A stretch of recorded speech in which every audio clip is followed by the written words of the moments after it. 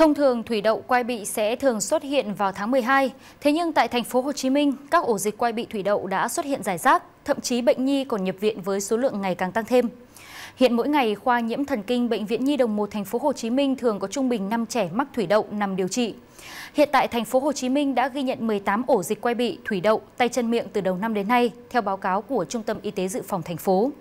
Các bác sĩ khuyến cáo cha mẹ không nên lấy các loại lá tắm cho các trẻ mắc bệnh thủy đậu hay quai bị, có thể khiến trẻ bị nhiễm trùng và bụi nhiễm.